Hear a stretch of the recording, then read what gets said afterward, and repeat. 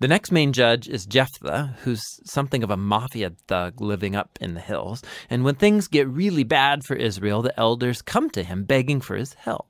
And Jephthah was a very effective leader. He won lots of battles against the Ammonites, but he was so unfamiliar with the God of Israel, he treats him like a Canaanite God. He vows to sacrifice his daughter if he wins the battle.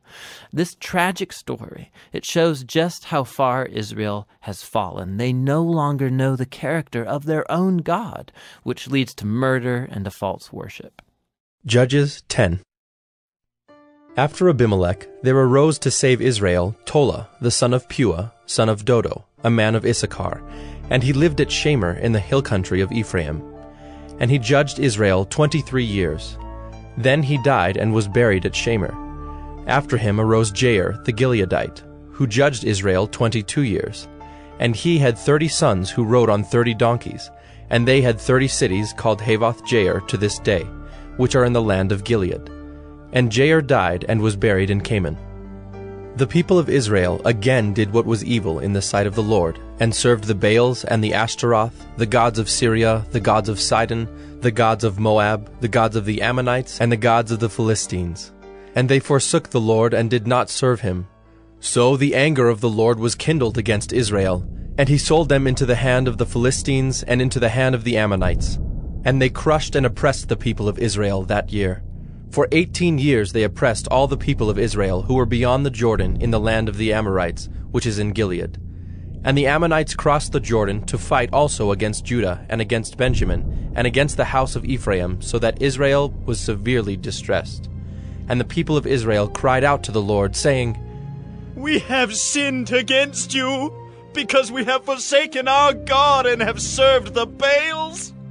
And the Lord said to the people of Israel, did I not save you from the Egyptians and from the Amorites, from the Ammonites and from the Philistines, the Sidonians also, and the Amalekites, and the Maonites oppressed you, and you cried out to me, and I saved you out of their hand. Yet you have forsaken me and served other gods. Therefore I will save you no more. Go and cry out to the gods whom you have chosen. Let them save you in the time of your distress. And the people of Israel said to the Lord, We have sinned. Do to us whatever seems good to you. Only please deliver us this day. So they put away the foreign gods from among them and served the Lord, and he became impatient over the misery of Israel. Then the Ammonites were called to arms, and they encamped in Gilead. And the people of Israel came together, and they encamped at Mizpah. And the people, the leaders of Gilead, said one to another, who is the man who will begin to fight against the Ammonites? He shall be head over all the inhabitants of Gilead. Judges 11 Now Jephthah the Gileadite was a mighty warrior, but he was the son of a prostitute. Gilead was the father of Jephthah, and Gilead's wife also bore him sons. And when his wife's sons grew up, they drove Jephthah out and said to him, you shall not have an inheritance in our father's house, for you are the son of another woman. Then Jephthah fled from his brothers and lived in the land of Tob. And worthless fellows collected around Jephthah and went out with him. After a time, the Ammonites made war against Israel. And when the Ammonites made war against Israel, the elders of Gilead went to bring Jephthah from the land of Tob. And they said to Jephthah, Come and be our leader that we may fight against the Ammonites. But Jephthah said to the elders of Gilead, Did you not hate me and drive me out of my father's house? Why have you come to me now when you are in distress? And the elders of Gilead said to Jephthah, That is why we have turned to you now, that you may go with us and fight against the Ammonites, and be our head over all the inhabitants of Gilead. Jephthah said to the elders of Gilead, if you bring me home again to fight against the Ammonites, and the Lord gives them over to me, I will be your head. And the elders of Gilead said to Jephthah, The Lord will be witness between us if we do not do as you say. So Jephthah went with the elders of Gilead, and the people made him head and leader over them. And Jephthah spoke all his words before the Lord at Mizpah. Then Jephthah sent messengers to the king of the Ammonites, and said, what do you have against me, that you have come to me to fight against my land? And the king of the Ammonites answered the messengers of Jephthah Because Israel, on coming up from Egypt, took away my land, from the Arnon to the Jabbok and to the Jordan. Now therefore, restore it peaceably. Jephthah again sent messengers to the king of the Ammonites, and said to him, Thus says Jephthah Israel did not take away the land of Moab or the land of the Ammonites. But when they came up from Egypt, Israel went through the wilderness to the Red Sea and came to Kadesh. Israel then sent messengers to the king of Edom, saying, Please, let us pass through your land. But the king of Edom would not listen. And they sent also to the king of Moab, but he would not consent. So Israel remained at Kadesh. Then they journeyed through the wilderness, and went around the land of Edom and the land of Moab, and arrived on the east side of the land of Moab, and camped on the other side of the Arnon. But they did not enter the territory of Moab, for the Arnon was the boundary of Moab. Israel then sent messengers to Sihon, king of the Amorites, king of Heshbon, and Israel said to him, Please, let us pass through your land to our country. But Sihon did not trust Israel to pass through his territory. So Sihon gathered all his people together and encamped at Jahaz and fought with Israel. And the Lord, the God of Israel, gave Sihon and all his people into the hand of Israel, and they defeated them. So Israel took possession of all the land of the Amorites who inhabited that country. And they took possession of all the territory of the Amorites from the Arnon to the Jabbok and from the wilderness to the Jordan. So then the Lord, the God of Israel, dispossessed the Amorites from before his people Israel. And are you to take possession of them? Will you not possess what Chemosh your God gives you to possess? And all that the Lord our God has dispossessed before us, we will possess. Now, are you any better than Balak the son of Zippor, king of Moab? Did he ever contend against Israel, or did he ever go to war with them? While Israel lived in Heshbon and its villages, and in Aroer and its villages, and in all the cities that are on the banks of the Arnon, three hundred years, why did you not deliver them within that time? I therefore have not sinned against you, and you do me wrong by making war on me. The Lord, the judge, decide this day between the people of Israel and the people of Ammon.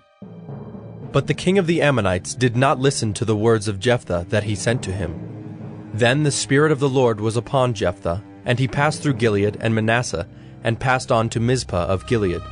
And from Mizpah of Gilead he passed on to the Ammonites.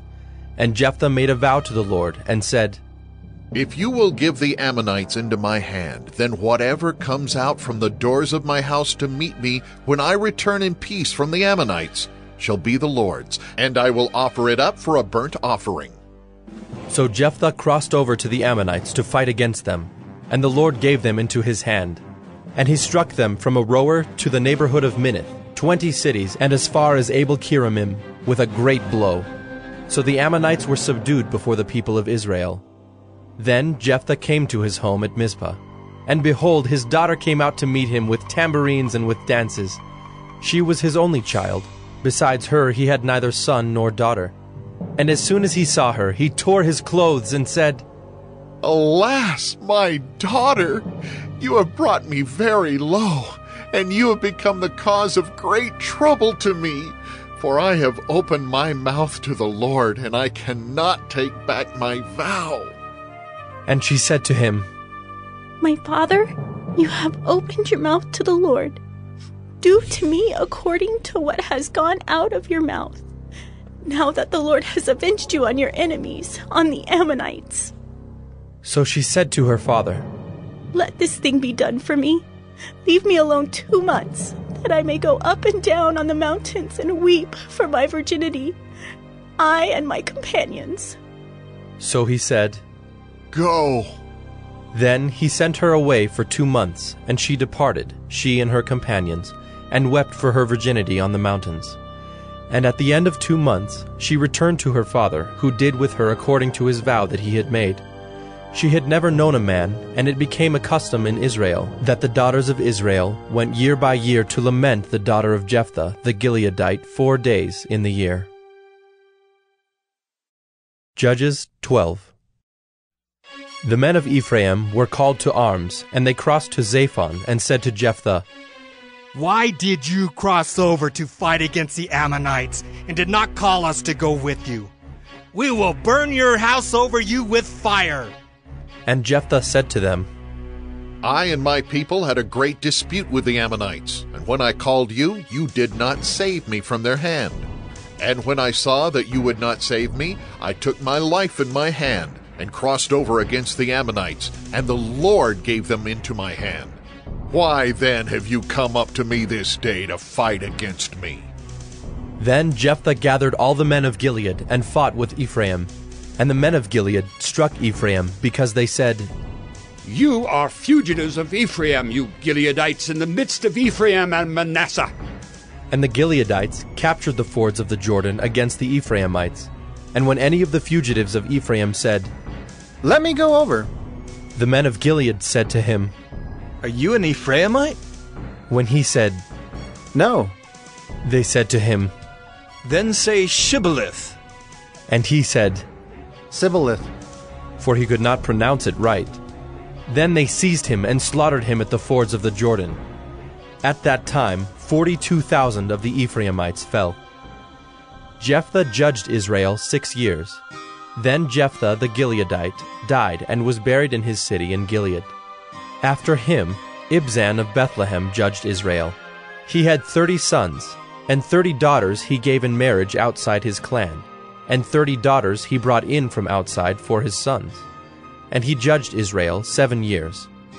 Then Ibzan died and was buried at Bethlehem.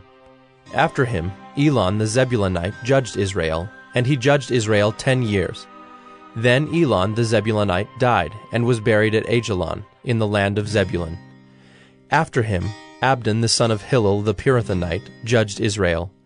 He had forty sons and thirty grandsons, who rode on seventy donkeys, and he judged Israel eight years.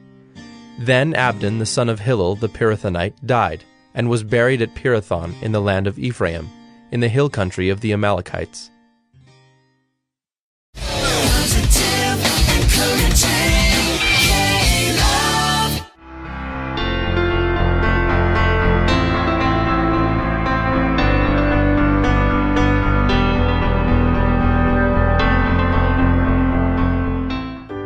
Everyone. I'm Chris Hogan. You can start winning with money. You just need the right plan.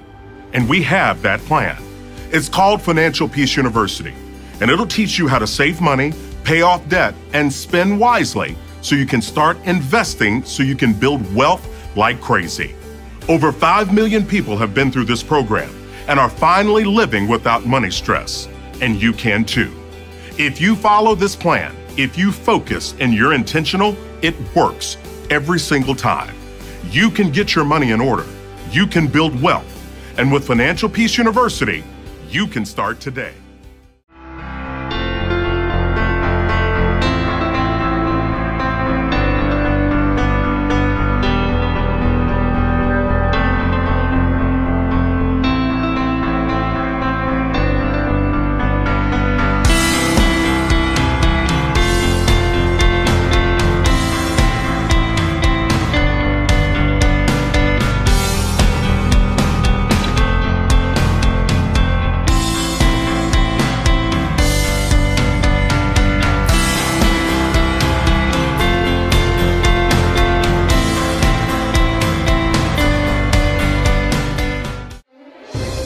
It's time for the weekly news with Adam Yenser. Prince William and Kate visited the Caribbean and went swimming with sharks, which is much better than their uncle Andrew, who visited the Caribbean and went swimming with 14 year olds. In an interview with Tucker Carlson, Kid Rock claimed that President Trump once asked him for advice on handling ISIS and North Korea. And seeing as Trump handled ISIS and North Korea pretty well, maybe Joe Biden should ask Kid Rock for advice. The Maury Povich show is being canceled after 31 years on the air. Oh. To put that in perspective, this baby who found her daddy in season one is now all grown up and doesn't know which one of these eight men is her baby's daddy.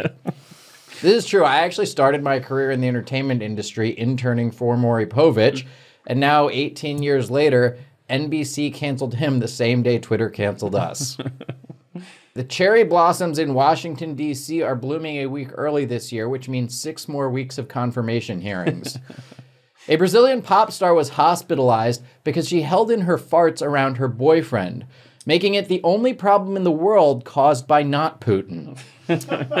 Police in New York are looking for a driver who hit a pedestrian while doing donuts in the street. Luckily, police were already on their way when they heard there were donuts. UFC star Jorge Masvidal got into a fight with fellow UFC star Colby Covington outside of a Miami steakhouse. Apparently, Jorge had a Colby beef. A driver in California crashed his Tesla after jumping it over a hill at high speed in Echo Park and becoming airborne. The driver wasn't attempting a stunt, he was just trying to clear a huge pile of poop and heroin needles in the road. and finally, Hillary Clinton has tested positive for still never being president. That's it for the weekly news. Come see me at the Funny Farm and Crackpots in Ohio this weekend.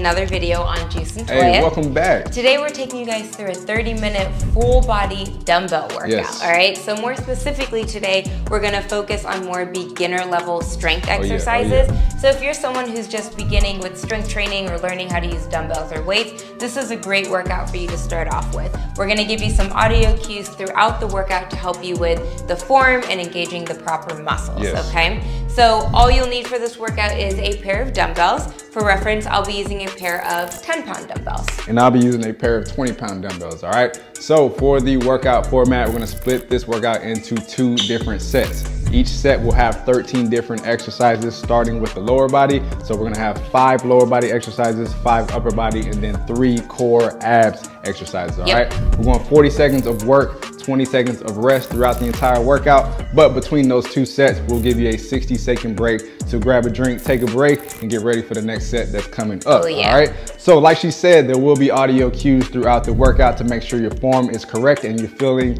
the workout in the right areas. But there are some exercises that may be a little bit more difficult, so you can follow me for modifications. Exactly. So, this is a full body workout, so we're gonna take you guys through a nice little warm up. Oh, yeah. Following the warm up, we're gonna get right into it. So, All grab right. your mats, grab your weights, Hey. and let's get to work.